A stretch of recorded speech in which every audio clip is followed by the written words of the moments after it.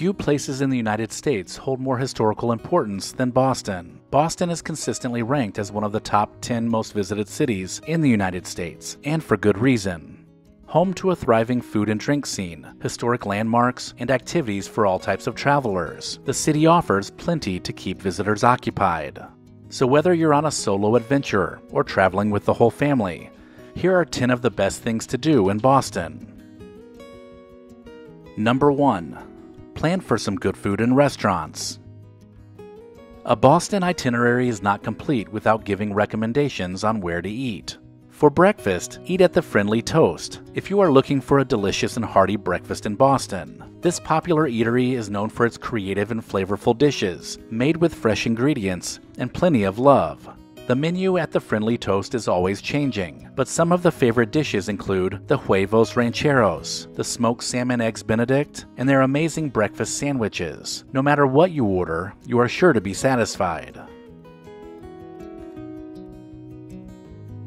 For lunch, head to Quincy Market, located at the Faneuil Hall Marketplace. Faneuil Hall is a historic shopping, dining, and entertainment marketplace located near the waterfront in Boston. It was established in 1742 and was the site of America's first town meeting. Today, it is a popular dining and shopping district, especially among tourists exploring the Freedom Trail. There are a number of restaurants and pubs, making it the largest food hall in New England. Try some international eats, along with local favorites like Boston pizza, Italian cannoli, and fresh New England seafood. Since you're in Boston, try the clam chowder, a local New England specialty.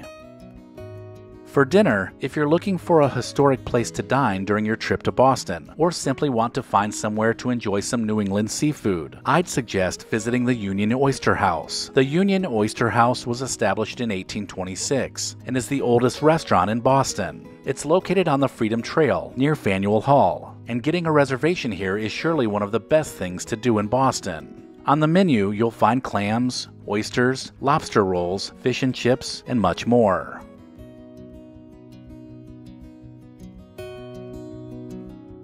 For dessert, eat the original Boston cream pie at the Omni Parker House. It was served during the hotel's grand opening way back in 1856.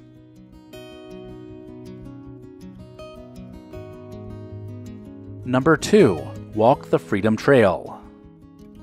If there's one thing you must do in Boston, it's walking the Freedom Trail. The famous two and a half mile pathway leads you to 16 historical destinations related to American history in Boston and is easily one of the most popular things to do in the city. It starts at Boston Common and passes by landmarks such as the King's Chapel, Bunker Hill, the Boston Massacre site, Paul Revere's house, and more. You can walk this brick road throughout the city, guided or self guided, with signs and historical markers all along the way. This should be your main activity, as you'll want to take your time and see all the sites thoroughly. Number 3. Step back in time at the Paul Revere House. The oldest remaining building in downtown Boston once belonged to none other than Paul Revere. Whether you head inside for a tour or simply admire the facade as you walk by, be sure to note this beautiful piece of American history. If you opt to do the tour, you'll get a glimpse into what life was like in the 1700s, see original furnishings owned by Paul Revere's family, and learn more about this significant figure in the American Revolution. After your tour, you can witness his statue just a few steps away in front of the Old North Church. Number 4. Visit the Boston Tea Party Ships and Museum. Boston Tea Party Ships and Museum is where fully restored 18th century ships bob in the harbor, and guests are led through an interactive Boston Tea Party. You get to actually participate in the Boston Tea Party, with actors playing Sam Adams, Abigail Adams, and other famous patriots. You also can climb on a replica of the ship the teas were stored on and throw the tea overboard. The experience ends in a short exhibit that shows a video that explains what happened after the Boston Tea Party and how the events shaped America. Number 5. Visit Beacon Hill. Boston is an amazing photogenic city, and nowhere is more obvious than Beacon Hill. As one of Boston's oldest neighborhoods, Beacon Hill has the look and feel you probably imagine when thinking of Boston. Be sure to visit Louisburg Square, home to some of Boston's priciest real estate. You'll also want to be sure to visit Acorn Street, the tiny cobblestone alley that is easily among Boston's most photographed spots. When you're done taking photos and admiring the beauty, be sure to stop by the famous Tatte Bakery or the original Cheers bar to rejuvenate and catch a second wind. Number 6. Taking a baseball game at Fenway Park. Watching baseball in Fenway Park is one of the best things to do in Boston because of the rich history behind the ballpark. The Red Sox have been playing here since 1912, and while you're watching the game, you can admire the stadium's unique, timeless architecture. It's well worth splurging on good seats and grabbing some peanuts and cracker jacks to root on the Boston Red Sox. But if you're not traveling to Boston during baseball season, no worries. You can still take a one hour guided tour of Fenway Park that will captivate avid baseball fans and curious tourists alike. Number 7. Peruse Brattle Bookshop. Brattle Bookshop is one of the largest and oldest used bookshops in the country, easily making it one of the best things to do in Boston.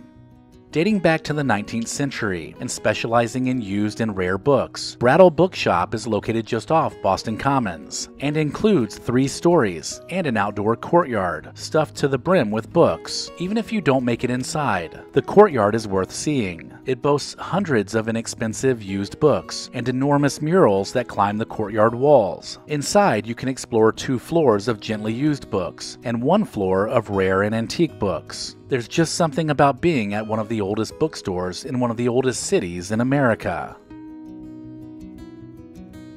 Number 8. Visit the Samuel Adams Boston Brewery.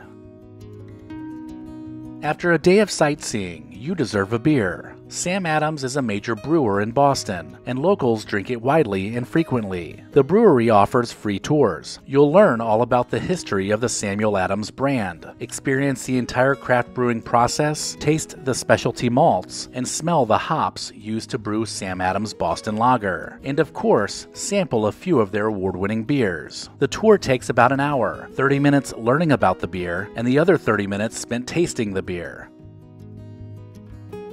Number 9. Make a stop at the JFK Presidential Library. Learn all about the life of the 35th president and Boston native through interactive exhibits that include a vast collection of personal documents. As you wander through the library and museum, you can also see many of the gifts and artifacts that John and Jackie Kennedy received while they lived in the White House.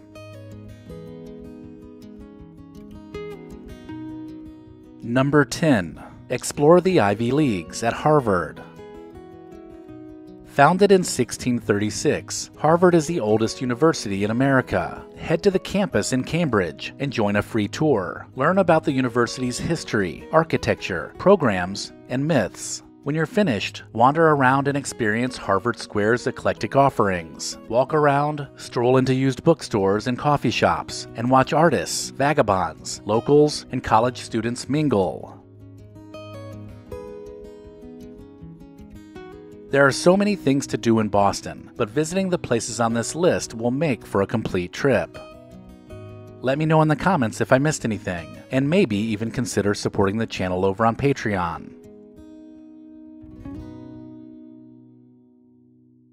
If you enjoyed this video, consider watching this playlist, and then visit the channel to search the Recollection Road Library. As always, thank you so much for watching.